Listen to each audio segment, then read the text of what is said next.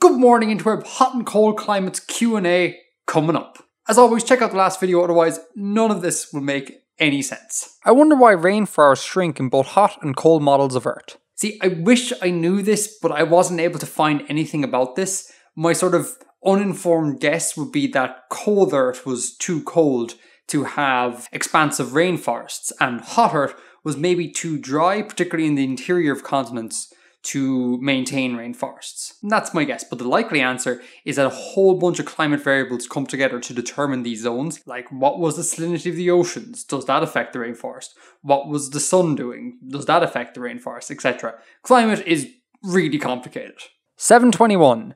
The Mediterranean climate expands towards northwestern Europe due to the jet stream being weak. A weaker jet stream means the high pressures during summers stay longer. The rains come back during colder months due to the jet stream being strengthened by temperature differences. So this is in reference to me not being able to explain why the Mediterranean climates went so far northwards. I don't know if this is actually the case, but it makes intuitive sense to me, so yeah, let's go with that. Artifexian, in the future, can you do a video on animals maybe?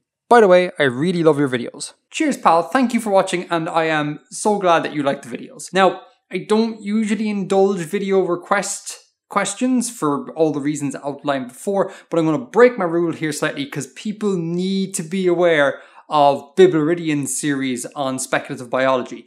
The third part just came out today as I'm recording, and it is just so good. It's so good. You, you gotta see it. So, links in all the usual places. Check them out. Tell them Edgar sent you. So, habitable hot, cold planets like Hoth and Tatooine are impossible. Yeah, Hoth and Tatooine aren't great places for carbon based humanoid bipedal life forms to naturally evolve, but those carbon based bipedal humanoid life forms may colonize those planets. And with the use of, you know, terraforming or HABs or living underground, etc., they could be fairly okay places to live. How would one maximize the appearance of humid subtropical areas like that seen in the American South? I would have figured increasing the temperature of the planet would have sufficed to create a larger version of this zone, but this does not appear to be the case in this video. Yeah, as with the first question, climate is super, super complicated, uh, but a sort of rough and ready way you might achieve this in a fictional world is to place low lying landmasses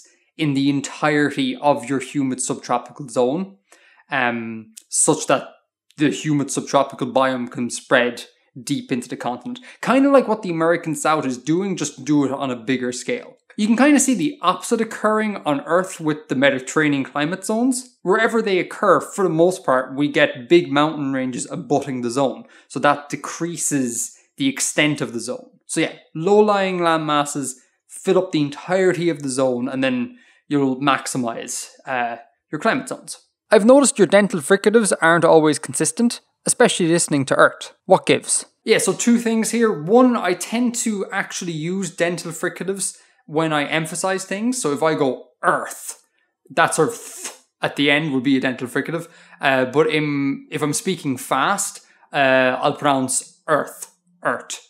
Um, but the second point is I had to say the word Earth so many times in that video that I had anticipated that every comment would just be like, lol, he can't pronounce his THs. So I tried my best to actually pronounce Earth uh, correctly. And uh, which I should not have done. I should have just stuck with the way I naturally speak. Because as it happens, it just turned into a bit of a mess where sometimes things were fricatized. So is that a word? Fricatized? As sometimes things weren't. You know, it's Earth or Earth or Earth. I don't know. Point is, I struggle with dental fricatives. Would I have super hurricanes that could destroy a Texas ish sized continent if they started from one side of the planet and had no obstacles? Yes, for the most part. Uh, you also need to factor in the warmth of your oceans. That plays a bit of a role. You should check out the pages, the Wikipedia pages on hypercanes and extraterrestrial vortexes. Uh, links in the description. The former, the hypercane, is this theoretical like super hurricane that could occur if Earth's oceans were significantly warmer. And it's like these storms would hang around for weeks and the wind speeds would be, you know, several hundred kilometers per hour. I think 800 kilometers per hour was what's quoted on that page. So it's pretty cool and super interesting. So go check that out. Anyways, those were some cues to your A's. I hope you enjoyed and I will see you soon. Edgar out.